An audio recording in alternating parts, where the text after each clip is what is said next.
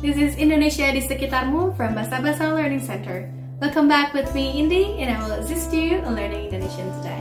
Have you ever run into your Indonesian friends unexpectedly, only to find yourself lost for words?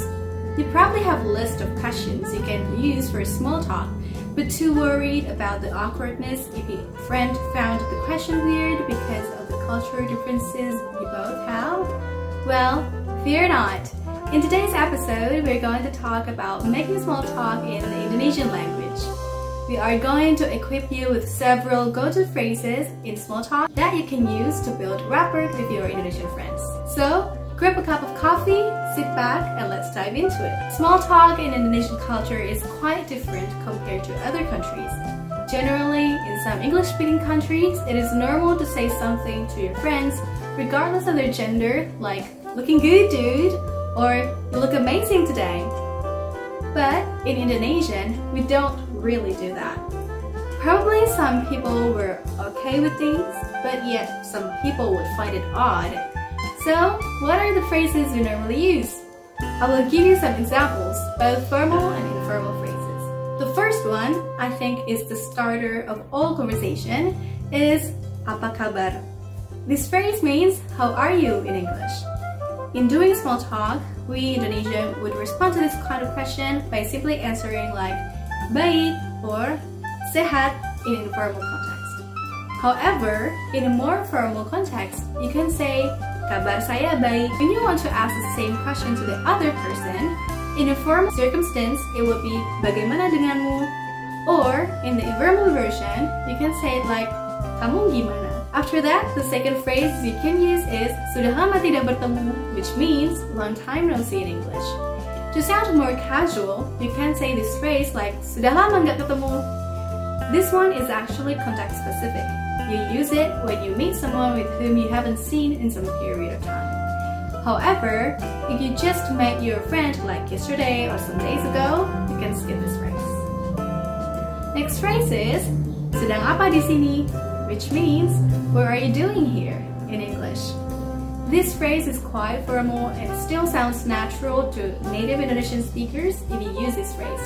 However, the more casual, informal, and natural form of this phrase is lagi ngapain di sini? Sedang and lagi in this type of question are synonymous. This question shows curiosity about your friend's purpose or activities in the current location. Using a friendly tone, this phrase creates a warm atmosphere for the conversation. Now, how to respond to this kind of question? It is easy. In a formal context, you can directly say lagi nunggu teman without saying pronounce saya. But if you are asked by someone who is older than you, it is better to mention the pronoun to show politeness. So we will be saya sedang menunggu teman. Alright, let's talk about the next phrase, which is kamu mau pergi kemana? This phrase in English means, where are you going?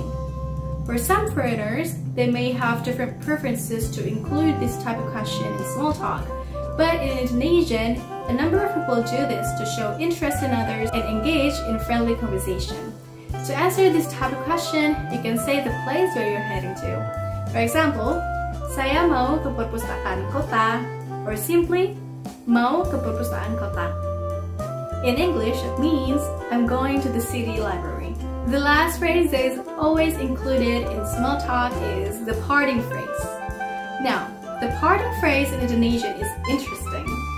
We do not really use sampai jumpa or selamat tinggal to say goodbye in our everyday conversations and it will sound unnatural for someone to use it.